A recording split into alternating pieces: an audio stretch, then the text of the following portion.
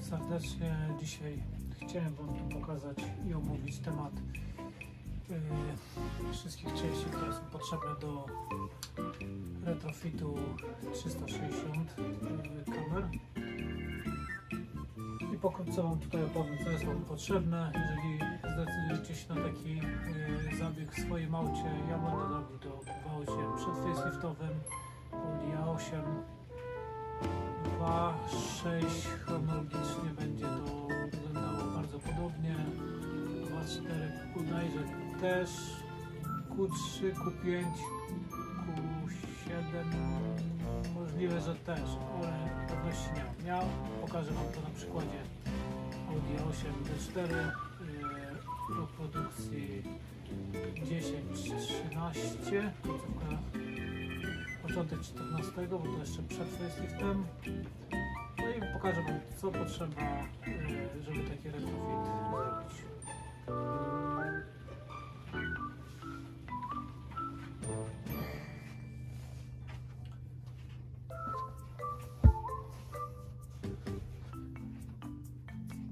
Tak więc zaczynamy y, omawianie tutaj części, które będą potrzebne. Będzie to odcinek numer 1. Muszę podzielić to na, na kilka odcinków, e, z tego względu, że po prostu będzie to dość e, długi, rozległy temat. Parę osób mnie pytało e, osobiście, co jest potrzebne do, retrofitu. Czy, czy dużo części jest potrzebnych, jakie części itd. Tak. Tak Więc y, właśnie dla tych osób, nie tylko oczywiście dla wszystkich moich widzów, y, y, postaram się Wam opisać i mniej więcej wyjaśnić, co tutaj jest potrzebne. No dobra, więc zaczynamy. Przede wszystkim potrzebujemy tak.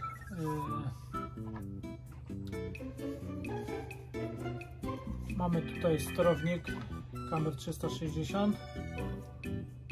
Sterownik ten y, udało mi się zdemontować z Audi faceliftowego. Teraz jest pytanie, czy tutaj te cyferki y, faceliftowe będą pasować do przedfacelifta. Nie wiem. Y, okaże się to po założeniu. Jeżeli będę musiał zmieniać na przedfaceliftowy, to po prostu zmienię ten, y,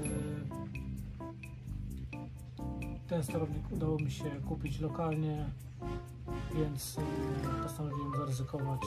Ogólnie większość z nich jest dostępna po prostu poza granicami tutaj UK, więc y, jedyny, który udało mi się dorwać i tak jak mówię, był dostępny za rogiem, więc postanowiłem go zakupić. Jeżeli coś nie wypali, założymy inny. Jest to sterownik o symbolach 4H0 907 428D i to jest pierwsza rzecz, którą potrzebujemy. Możemy yy, go sobie nabyć tutaj z wtyczkami, wszystko kwestia tego, w jaki sposób będziecie chcieli połączyć yy, sterownik z kamerami. Jeżeli będziecie yy, dorabiać przewody, przewody można kupić na różnych stronach internetowych nie są to e, tanie rzeczy, ale pozwólcie, że o kosztach nie będę mówił, e, bo to jest bardzo indywidualna sprawa. Rzeczy, które są zakupione, nie kupiłem e, nowych.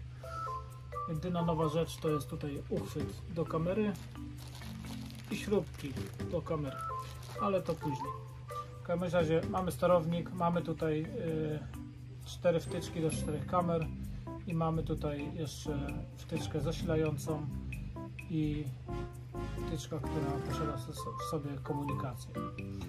Jeżeli y, mieliście już kamerę w aucie zainstalowaną, to tutaj ten zielony F-bus już tutaj będziecie mieli połączony w aucie. Jeżeli nie, to musicie ciągnąć F-bus do e, unitu MMI bądź do tunera TV, w zależności do jakiej opcji wasze auto występuje. Także pierwszy element mamy omówiony. Omówimy teraz element numer dwa, którym jest blenda pod tylną kamerę wraz z kamerą, z uchwytem i tak. Yy, ta blenda do facelifta ma yy, symbol 4H0 827 574 jest to inna blenda niż blenda do kamery, która występuje tylko z tyłu. Yy, ma dużo większy otwór tutaj na kamerę tą 360 uchwyt i tak dalej całość jest tutaj skonstruowana troszeczkę inaczej reszta tych gadżetów, które tutaj widzimy, czyli zamek, który jest, przełożę ze swojego auta. Yy, mamy dwie lampki. Oczywiście lampki u mnie są już yy, po retroficie są LEDowe, więc założę lampki LEDowe. Także to mamy omówione. Zaraz yy, odnośnie kamery. Dwie kamery przednia i tylna są takie same o tych samych symbolach, o tych samych numerach. Y, numery, które widnieją na kamerach to są 7 P6 980 500 61C i są to kamery, które pochodzą sprzed facelifta bodajże ta kamera będzie miała taki sam symbol nie wiem jak jest y, w lusterkach, y, nie sprawdzałem tego. Możliwe, że są te same te, te same symbole. Tak więc mamy blendę do kamery tylnej. Teraz omówimy sobie kamerę przednią, uchwyty i tak dalej. Mamy kamerę przednią. Mamy tutaj taki uchwyt, który idzie do atrapy kamerę mamy zamontowaną w ten sposób. Mamy miejsce na śrubki, które są, które są tutaj i mamy blendę, która wykańcza nam tutaj cały całą tutaj jakby cały obszar tej przedniej kamery.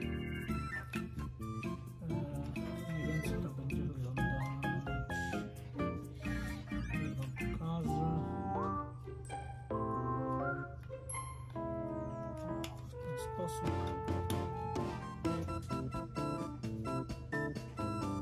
I tak to wygląda. Kamera, uchwyt i teraz y, numerki. Jeżeli chodzi o kamerę, już wszystko wiecie. 7 i tak dalej, tam bla bla bla. Zaczniemy najpierw od uchwytu tego głównego kamery. Ten uchwyt kamery ma oznaczenia 4H0 853 795 i jest to do przedfaceliftowej wersji nadwozia. Facelift ma inny uchwyt. Tak samo jest tutaj ta blenda wykończająca, wykończeniowa lub jak to tam się będzie zwał. Oznaczenie jest 4H0 853 140 pod znaczek Audi wchodzi i nam się ładnie tam wszystko zakrywa. Śrubki potrzebne do przykręcenia mamy N104 15903 Także to mamy już omówione. Przechodzimy, przechodzimy dalej. Mamy wiązkę do czterech kamer. Wiązka do kamer jest podzielona na kilka części. Pozwolę Wam się to pokazać jak to wygląda.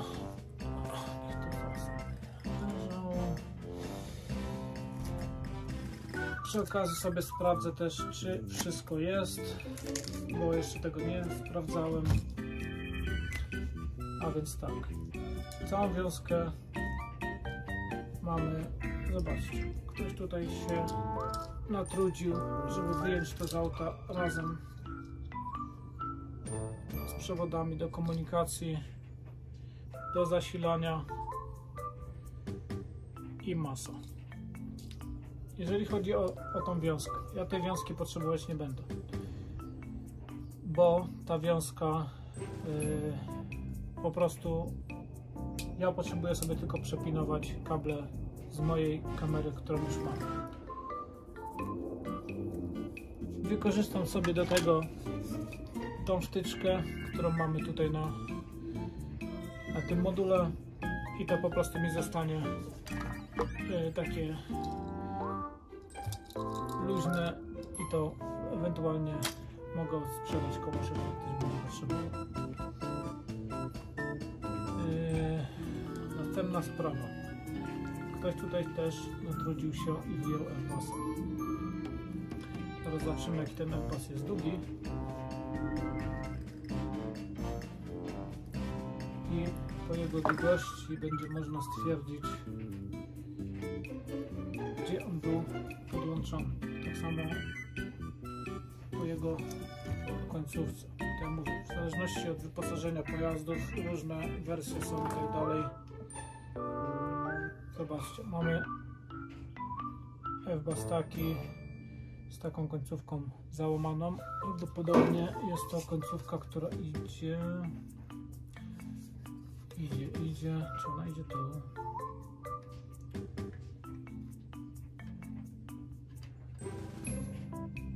pasować tu pasuje, ale nie wiem czy nie powinna być prosto tak jak to.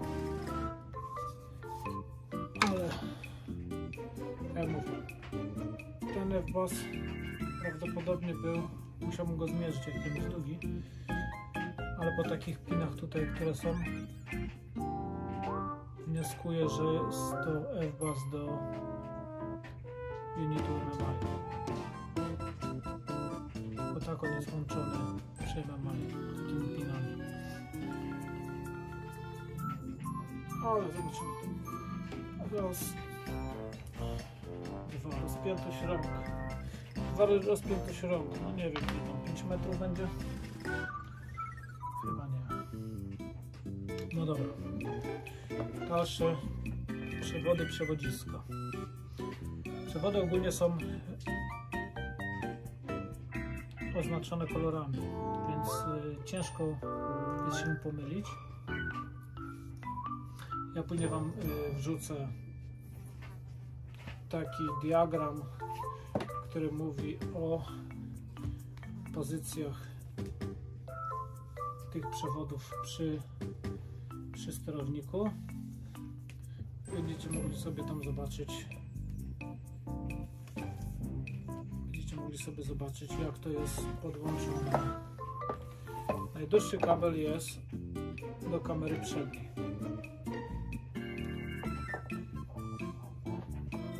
Później mamy kabel co do długości to będzie do kamery prawej w lusterku później lewej w lusterku na końcu najkrótszy kabel będzie do kamery, która jest z tyłu. Że to tak mniej więcej jest usytuowane. Zaraz tutaj zobaczymy sobie. Kable oczywiście trzeba będzie pociągnąć w pojeździe. Mamy tutaj kabel z czarną końcówką. Jest to kabelek do kamery do lusterka prawdopodobnie z prawej strony pojazdu tutaj mamy kabelek z zieloną końcówką troszeczkę jest krótszy wydaje mi się więc że będzie do yy, lewej strony pojazdu do lusterka w lewej z lewej strony tu mamy kabel Wydaje, że to będzie kawa. Jeżeli dobrze rozpoznaję, jest to biały kabel. Wydaje mi się, że to będzie kabel do przedniej kamery. Jest troszeczkę tutaj brudny, więc to mi się wydaje, to będzie przedni kabelek. Mówimy tylko tutaj o kablach i wyłącznie, które są w pojeździe, tak naprawdę w środku auta te kable są są jeszcze połączone takimi krótkimi kabelkami. Z tego względu, żeby tak, zdemontować na przykład drzwi lewe, prawe. To jest kabel do przedniej kamery. Drzwi lewe, prawe, bagażnik, żeby zdemontować y, klapę bagażnika i zderzak. Do przedniej kamery potrzebujemy kabel taki długi z białą wtyczką i jeszcze taki kabel króciutki. Ten kabel długi się łączy tutaj z tym kablem króciutkim za pomocą takiego złącza. Te złącza, wszystkie które tu są, one są yy. I takie muszą być, bo to będą yy, połączenia na zewnątrz pojazdu, więc muszą być one rozszerzone. Mniej więcej tak to wygląda. Mamy tutaj wtyczkę. Tak więc już mamy tutaj trzeci kabel.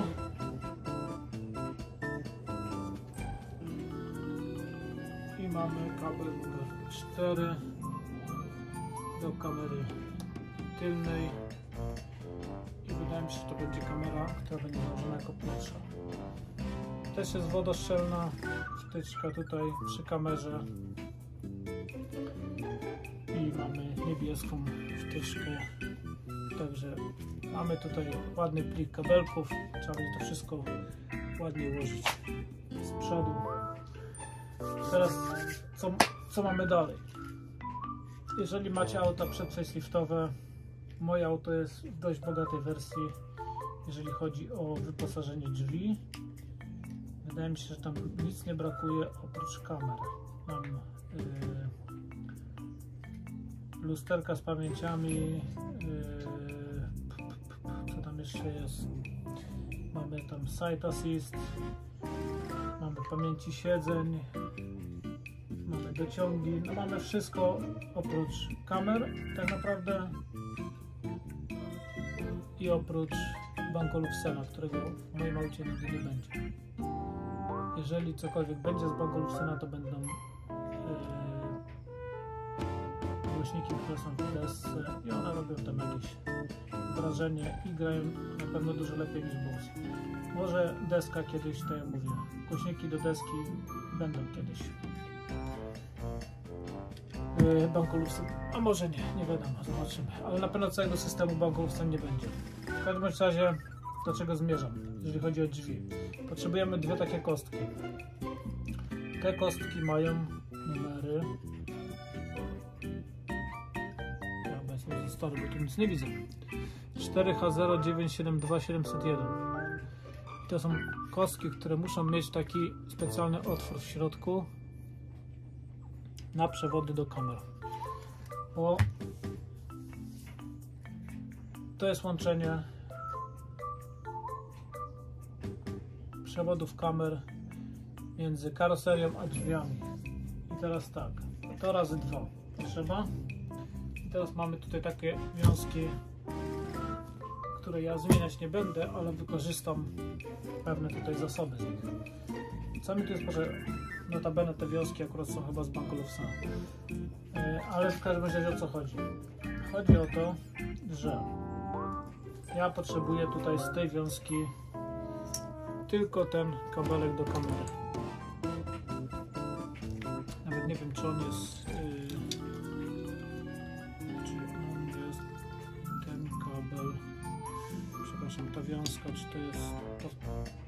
Soft close możliwe, że jest pod soft close, ale nie chciałbym tutaj.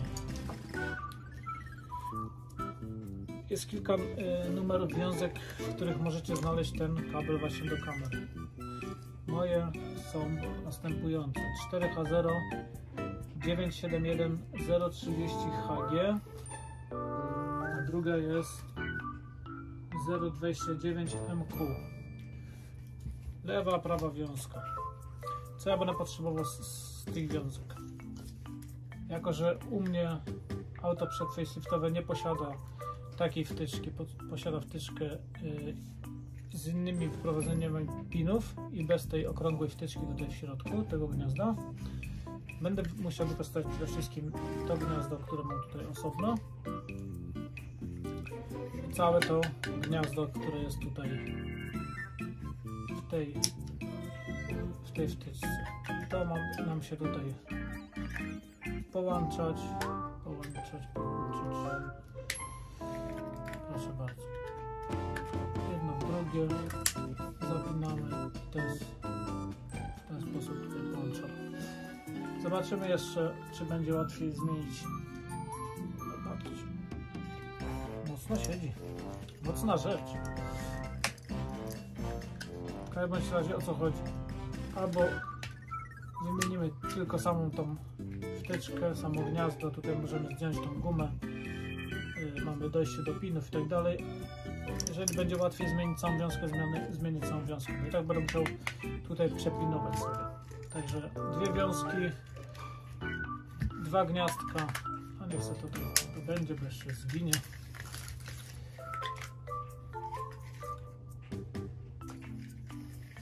Siedzi wam powiem. To dobrze. Dobry znak.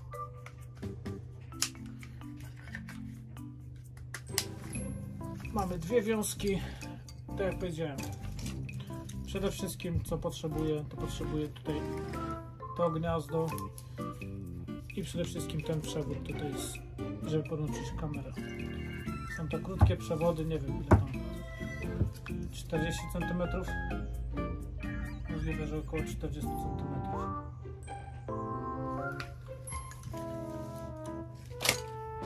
to razy dwa. Następna rzecz. No to są lusterka, no bez lusterek niestety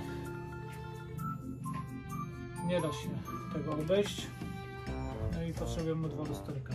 W moim przypadku są to lusterka z Audi S8 no i są to lusterka w pełni wyposażone, czyli mamy przyciemnione lusterko mamy pamięć yy, ustawienia lusterka mamy side assist no i przede wszystkim mamy kamerę. Numery jakie tutaj widnieją na tym yy, całym zestawie to są tak. 4H2 857 410Q jeszcze jest kilka numerów yy, pobocznych, które mówią o tutaj numerze tego plastiku, który jest to Side Assist i bodajże do tego tutaj uchwytu, gdzie jest kamera.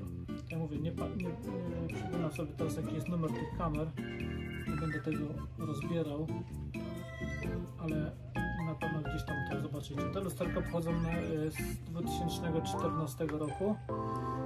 Są to prawdopodobnie z, z auta faceliftowego, więc przed y, założeniem tych lusterek będę musiał sprawdzić tutaj sobie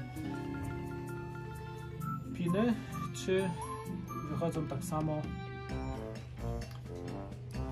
czy, czy trzeba coś zmienić. W każdym razie na lusterka razy dwa. Mogą być od ósemki, nie muszą być od S8. Ja po prostu chcę sobie zrobić taki pakiet stylizacyjny S8, więc dlatego dlatego będą lusterka z S8. Ogólnie samego S8 nie chciałbym yy, posiadać ze względu na koszta utrzymania, które są dość wysokie. I to jest tylko jedyny powód, dlaczego nie chciałbym mieć S8. Moje A8 mi pasuje. Jestem zadowolony ze swojego auta, chociaż ktoś może powiedzieć, że codziennie coś przy nim robię, że się cały czas psuje i tak dalej, i tak dalej. No nie. Ja raczej bym tak nie powiedział. Raczej bym powiedział, że odchwaszcza mnie po poprzednikach. Jeszcze jedna rzecz, którą tutaj nie przygotowałem, a zaraz Wam pokażę.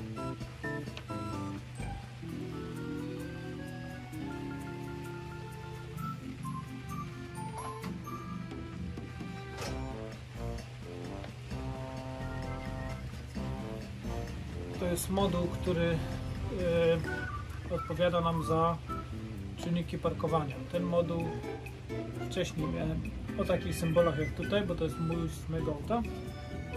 4H0919 475F i prawdopodobnie ten moduł by kamer 360 nam nie obsłużył z opcją e, dodatkowych lin przy skręcaniu. Te linie pojawiają się przy e, miniaturce pojazdu z lewej strony lub z prawej, w zależności e, z której strony macie ustawiony ten ekran z tą miniaturką pojazdu lub pojawia się to jeszcze w połączeniu z, z autem, gdzie mamy widok z góry pojazdu. Ale to później. Mam już założony yy, mam założony taki moduł już z auta z ostatnich lat produkcji, on też był z S8 notabene 4H0919 475 AA taki jest dokładnie u mnie teraz w aucie i taki będziemy kodować. I do celów jakichś tam porównawczych tak żebyście wiedzieli czy ten obsłuży Wam kamerę 360 to też y, go założę i spróbuję go zakodować pod kamerę 360 zobaczymy czy przyjmie kodowanie. Ogólnie jeżeli chodzi o te dodatkowe linie czerwone przy kołach co się pojawiają ten sterownik tego nie obsługuje. I to by chyba było na wstępie tyle jeżeli chodzi o części, które są potrzebne nam do, do całego tego retrofitu, to ja mówiłem wcześniej, jeżeli chodzi o te kable, tych końcówek ja potrzebować nie będę, zostawię sobie może gdzieś tam na jakiś projekt. W każdym bądź razie mam całe tutaj zestawy kabli i tak dalej, które są nieucinane, nigdzie nie, nie połamane. Tak. I miejmy nadzieję, że będą działać poprawnie i nie będzie trzeba nic tutaj rzeźbić. Jeżeli mi się uda jutro, to zapraszam Was na takie połączenie Frankensteina, bym powiedział, bo co zrobimy? Otworzę sobie z tyłu osłonę bagażnika i po prostu wszystkie kamery, cały system podłączę do w bagażniku, czyli nic nie będzie ułożone w aucie, ale po prostu, żeby sprawdzić, czy system działa poprawnie, na zasadzie, czy kamera działa, czy, czy działają przewody, czy komunikacja jest ze sterownikiem i tak dalej, e, to będę chciał to połączyć wszystko w bagażniku, żeby sprawdzić, czy naprawdę wszystko będzie działać. E, tutaj mamy tą wtyczkę, jeszcze Wam powiem o co chodzi z tą wtyczką. Dlaczego nie będę używał tamtej wiązki całej? To sprawa wygląda następująco. Mam tutaj jak widzicie całą e, wtyczkę z przewodami z, moich informacji wynika, że kable, które mam już w aucie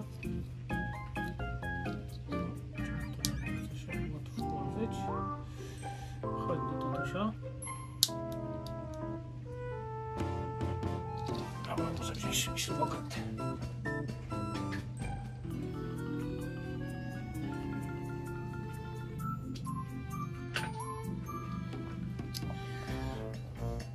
Jedyne co muszę zrobić, wyjąć przewody, które są tutaj w tej wtyczce, wyjąć przewody, które są w mojej wtyczce i to połączyć.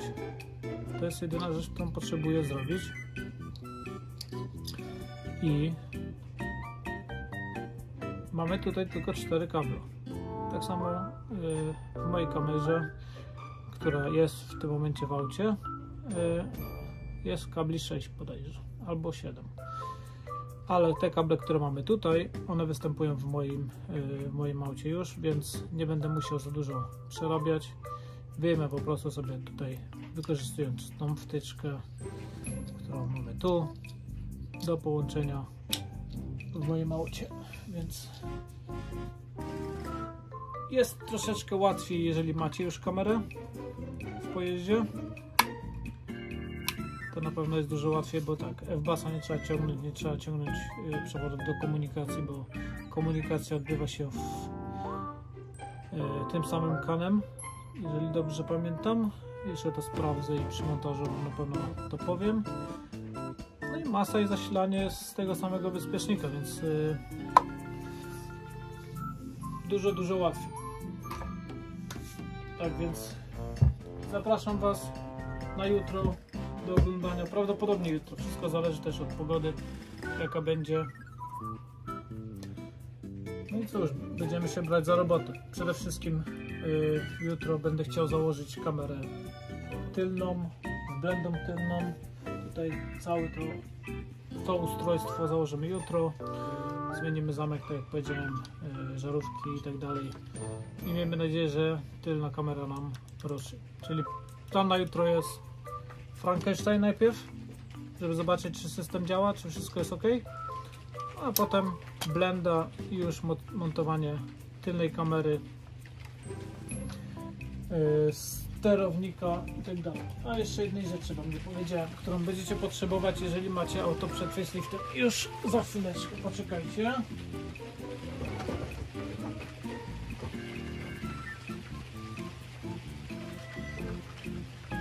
Więc co będziecie potrzebować, to będziecie potrzebować jeszcze taki, taki uchwycik.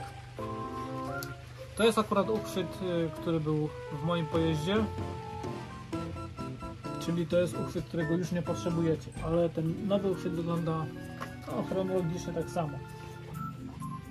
O co chodzi z tym uchwytem? Już Wam mówię i tłumaczę.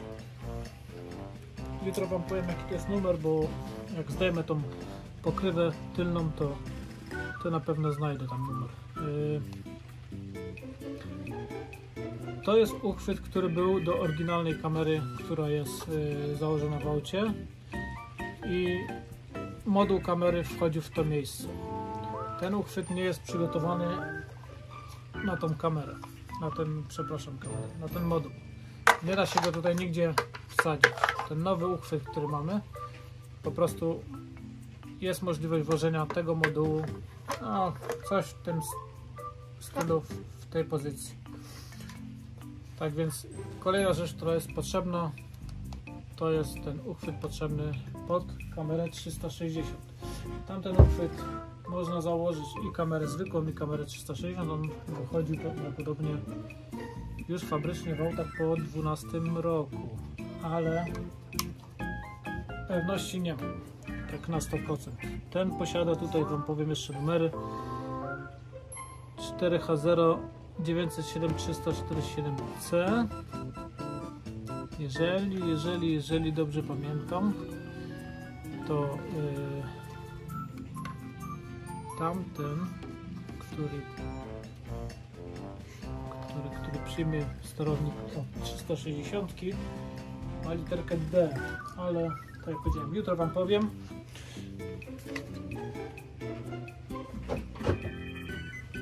nie chciałbym was wprowadzać w błąd tak więc na dzisiaj to tyle.